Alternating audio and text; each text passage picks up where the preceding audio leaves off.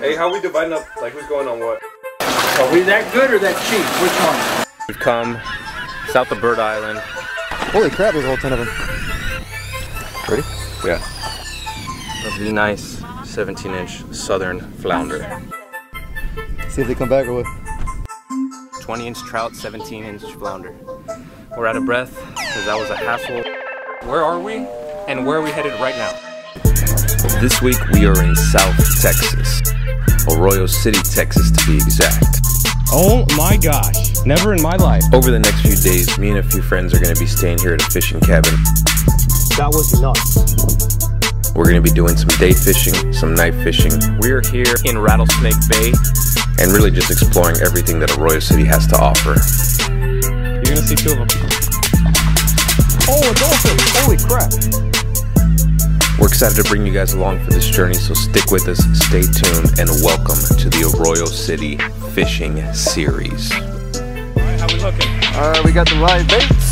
We're gonna do a little uh, night fishing. And we'll see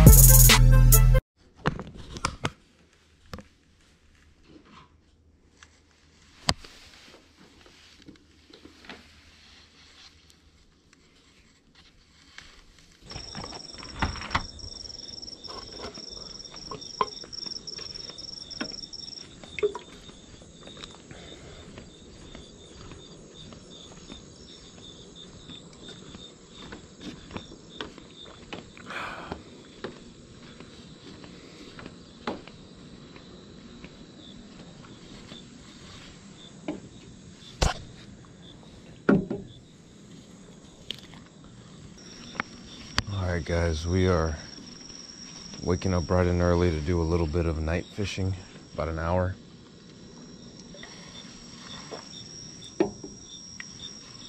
It's about 4 a.m. right now. So what I do here is I take my spec rigs, let them get a little bit of light, and you want to work the areas at the edge of the light first. So just cast out. Nice and slow. You're going to work it slow. See if anything bites.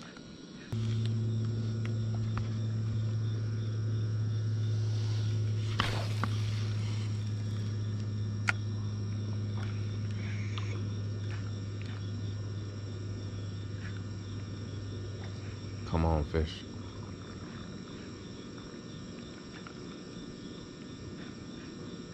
Oh, there he is. Oh, got him. Little trout.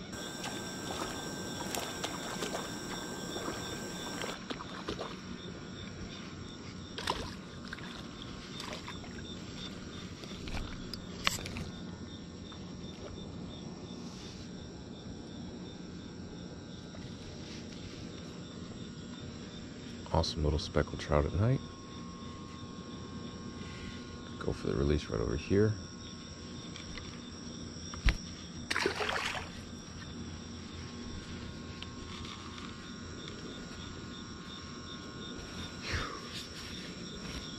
Another thing I would say, guys, is try not to try not to sling your fish on the release right back into the area that you're gonna fish because obviously it's going to be spooking the fish a little bit. So we'll just wait here a sec, see if we see a trout surface. Let's try over there. I heard one blow up over there. Yeah, not the best cast. I am starting to see some trout activity out here.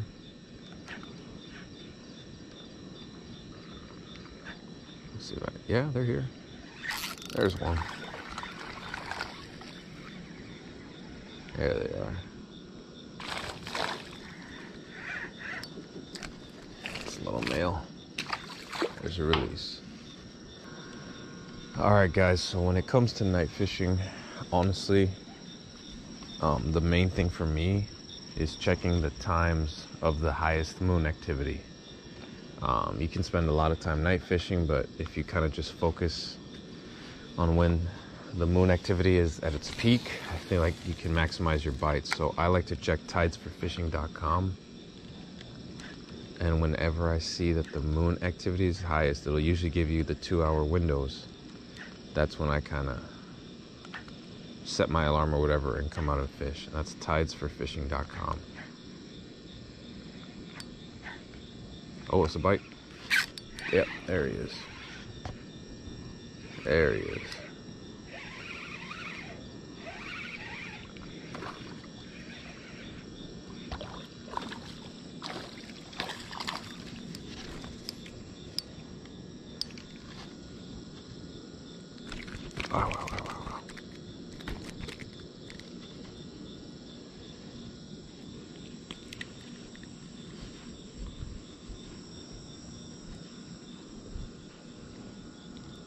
These trout are very warm.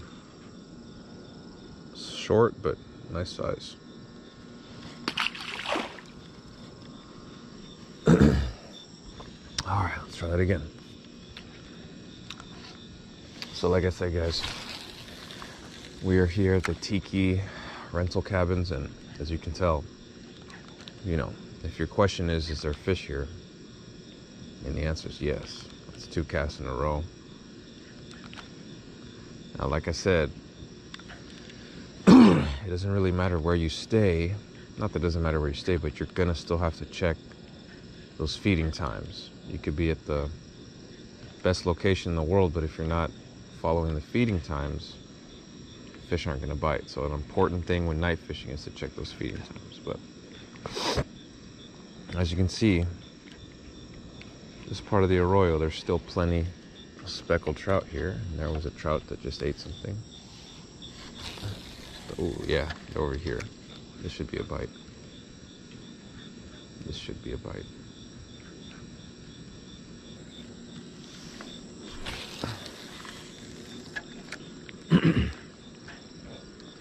Come on, fishy, fishy.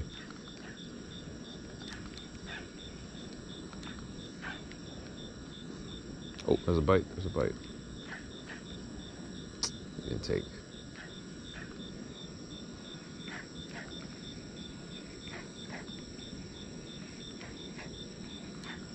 They're here, man. They're just not eating.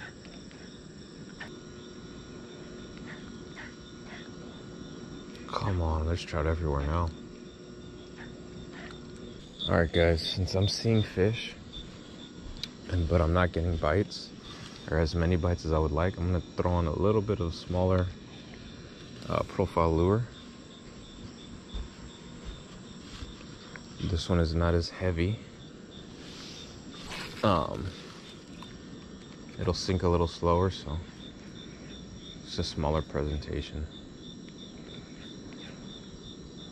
Oh, sure enough, there goes first cast.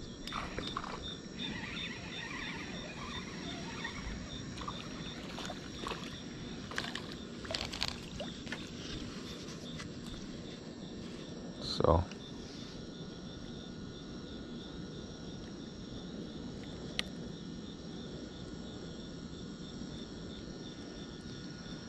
we did switch to a smaller presentation. Um, these are not on jig head, so um, I don't know what these are called, but let's see if that smaller presentation kind of helps to trigger some more bites.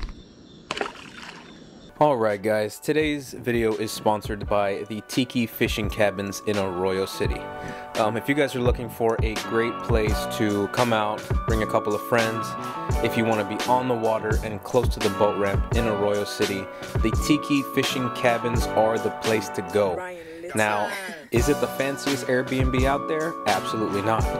But if you are looking for a place that has everything you need, is on the water, and as you will see in this video, holds fish on the dock and is close to the ramp and is a great bang for your buck, then the Tiki Fishing Cabins are the place for you. We were just looking for a place that we could rest our heads at night, um, had good AC, place where we can cook our food and was on the water and the Tiki Fishing Cabins delivered. Uh, we will leave the phone number in bio down below. Um, and once again, thanks to our sponsors, Tiki Fishing Cabins. Now let's get back to the video.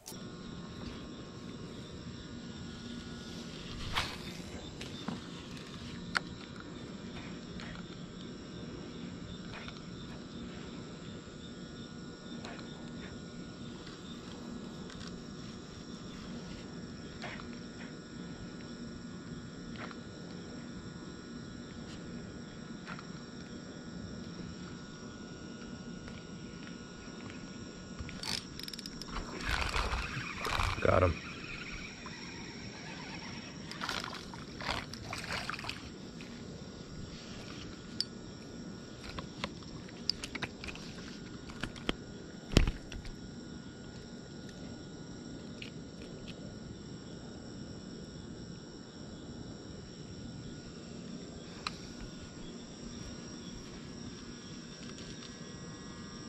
Let's release over here.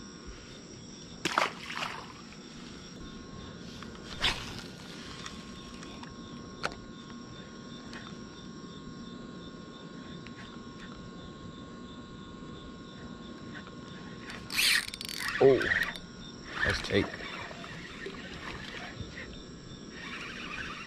Yeah, these smaller lures are definitely like getting it done. Check this out, guys. Check that out.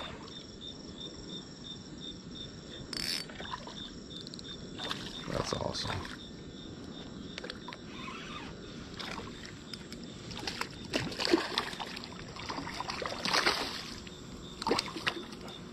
So I think if you're asking yourself if the tiki house does hold fish, there's your answer right there. That's a double. Those are nice, healthy trout too. Let's get these guys on unhooked. You're gone, you're gone. Go ahead.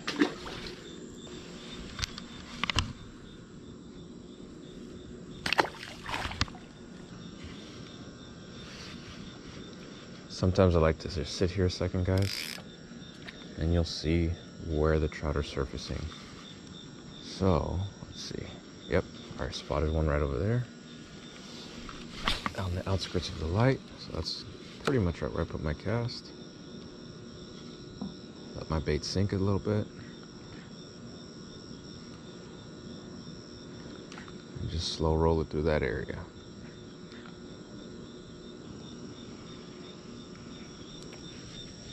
Another thing that's really important, guys, is to um, get something that glows. Um, I like glow shads. Um, these are like a little glow minnow rig. But if I haven't already said it, you need a lure that is going to glow in the light. That's you can do it without one, but I think it's pretty key. I would say you're going to give yourself an advantage if you have something that's glow in the dark. Oh, there was a nice trout just right there.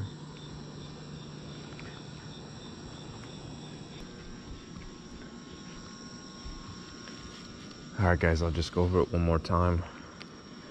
Um, you're gonna want something that glows. I got these small glow minnows. Um, second thing is you're gonna want to check your tides for fishing to see what time of the night these fish will be most active, based upon the solar lunar, um, the activity of the moon or the location of the moon.